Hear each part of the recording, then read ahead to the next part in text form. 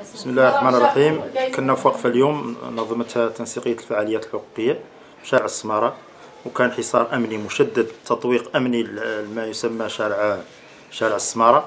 آه، فعلا كانت الجماهير متواجدة في نقطة الصفر في ساعة الصفر في النقطة المحددة للوقفة حسب النداء اللي اللي طلقوا طلقته تنسيقية الفعاليات الحقوقية.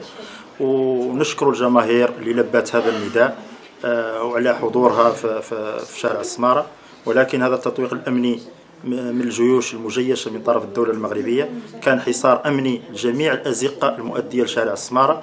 ولكن استطاعت الجماهير الصحراوية أنها توصل للنقطة المحددة. ولكن آه، آه، القوات الأمنية المغربية قامت تفريقنا بالقوة. مما أدى إلى إصابة مجموعة من النشطاء الحقوقيين ومن الجماهير الصحراوية. اللي حضرت الوقفة الاحتجاجية اليوم 15 شتنبر 2014